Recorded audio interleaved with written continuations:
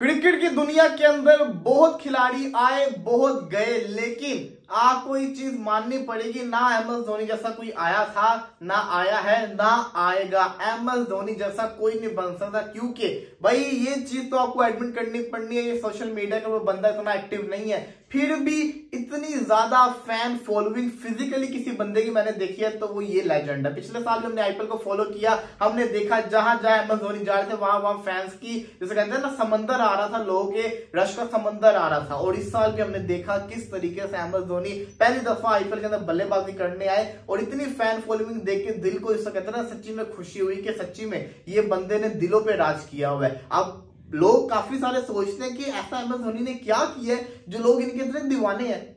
चले विराट कोहली के तो अचीवमेंट है ना, सबसे बड़ा प्लेयर है, सबसे शानदार किस्म का प्लेयर है। एम एस धोनी ने क्या किया हुआ है? एमेजोनी ने इंडिया को वो चीज़ें जितवाई हुई है जो आज तक इंडिया जीत नहीं पा रहा है। एमेजोनी ने इंडिया को एक नहीं, दो दो वर्ल्ड कप जितवाए हुए चैंपियंस ट्रॉफी जितवाई हुई है। क्या से क्या किया हुआ है? अपनी टीम चेन्नई को पाँच टाइटल जितवाए हुए हैं। एमएस धोनी ने लोगों के दिलों को जीता हुआ है। लोग जिसको कहते हैं स्ट्रैट्स को मैटर नहीं करते, लोग ट्रॉफीज को पसंद करते हैं और एम एस धोनी ने लोगों को ट्रॉफीज दी हुई खुशियों के मौके दिए हुए हैं। और एम धोनी लोगों के दिलों में राज करता है। और जिस तरह से एम एस धोनी बल्लेबाजी कर रहा है ना, मैं सच्ची में चाहता था कि एम धोनी कम बैक मार ले, लेकिन हुआ क्या?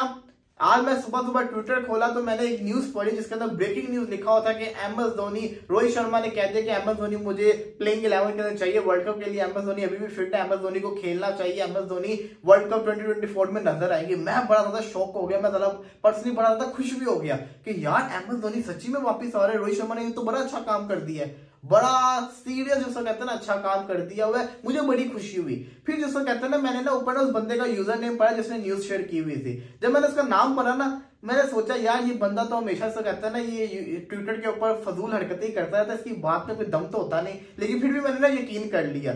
उसके बाद जब मैंने कमेंट्स खोले ना कमेंट्स में पता चला कि ना, ये बंदा हमेशा की तरह खच्ची मार रहा था और लोगों ने लिखा होता है अप्रैल फूल वगैरह लोग कर रहे थे तो मैं समझ गया कि भाई ये आज फ़र्स्ट अप्रैल है, ये पागल बना रहा है। आप समझ तो गए मैं किसकी बात कर रहा हूँ। मतलब कि इतना मैं एक टाइम पे खुश हो गया ना, लेकिन फिर मैंने कहा कि यार यही तरीका होता है कि वेरीफाई पहले करना चाहिए। एमी मैं यकीन करके बैठ गया था। तो खैर, ये तो लोगों की विश है कि अहमद सोनी दोबारा से आपको इन एक्शन नज़र आए, लेकिन फिर भी जो होना था वो तो हो गया। सवाल ये आता है, पाकिस्तान की क्रिकेट के अंदर बड़ा कुछ चल रहा है। पाकिस्तान के जो चेयरमैन बड़े आए बड़े गए, लेकिन सवाल मैं आपसे ये करने जा रहा हूँ, वो कौन है जो मोहम्मद आमिर को वापिस लेकर आया? पूरा पाकिस्तान का ख्वाब था कि आमिर वर्ल्ड कप खेले, लेकिन ये कोई नहीं कर पा रहा था, एक बंदे ने किया। वो कौन है जो आधा पाकिस्तान चाहता था कि इमाद वसीम वापिस पाकिस्तानी टी टीम के अंदर आए? okay? लेकिन कोई ला नहीं पा रहा था उनको वो बंदा लेकर आ गया। वो कौन है जिसने बाबर आज़म को दोबारा से कैप्टन बनाया है? पूरे पाकिस्तान का दिल टूटा था जब बाबर आज़म कैप्टनसी से हटाया गया था, लेकिन उस इंसान ने बाबर आज़म को सिंगल हैंडली वापस लेकर आए, हर चीज़ को साइड पे रख के।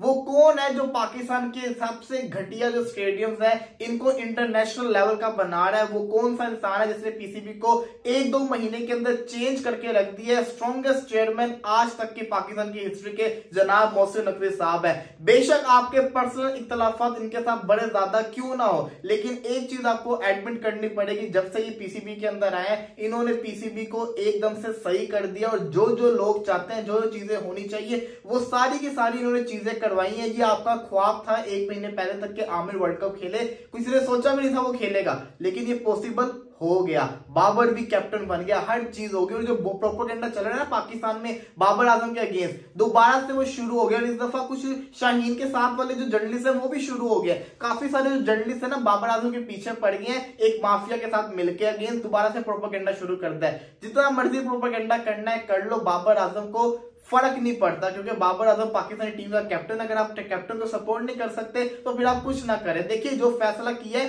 वो चेयरमैन साहब ने किया है। और जो लोग खबरें ये चला रहे हैं, पहले ये खबर चली थी कि बाबर आज़म ने कंडीशन रखी, ऐसा कुछ भी नहीं है। बाबर आज़म ने कोई कंडीशन नहीं रखी। याया हुसैन, जो कि बहुत बड़े पाकिस्तान के जर्नलिस्ट है स्पोर्ट्स के, वो कहते हैं कि इतने स्ट्रॉन्ग चेयरमैन है, इनके आगे कोई कुछ कंडीशन रख ही नहीं सकता। ये पाकिस्तान की हिस्ट्री का सबसे स्ट्रॉन्गेस्ट चेयरमैन है। जो इन्होंने फैसला कर लिया तो वो कर लेते और शाहीन को क्यों निकाला?